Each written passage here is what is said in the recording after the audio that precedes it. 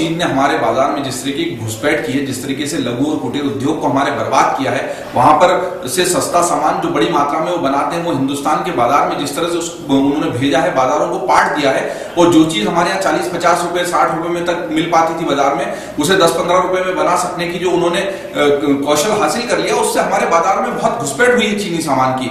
और चीन अगर उसके पास जो तरीका है, वो उसको अपनाने में एक कदम भी नहीं हिचकता।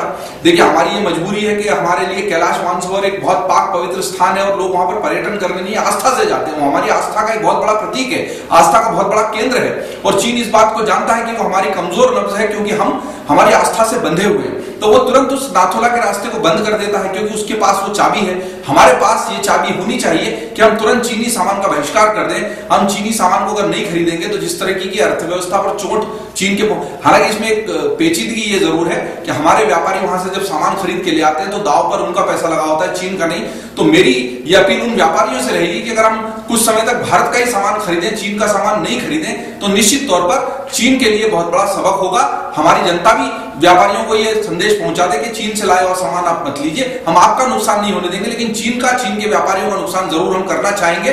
मुझे लगता है कि इस तरह के रणनीतिक कदम उठाने में कोई गलती नहीं है, कोई खामी नहीं है, क्योंकि चीन उसके पास जो हथियार है, रणनीतिक हथियार है, कूटनीतिक हथियार है, उसको अपनाने में एक पल भी नहीं हिचकता।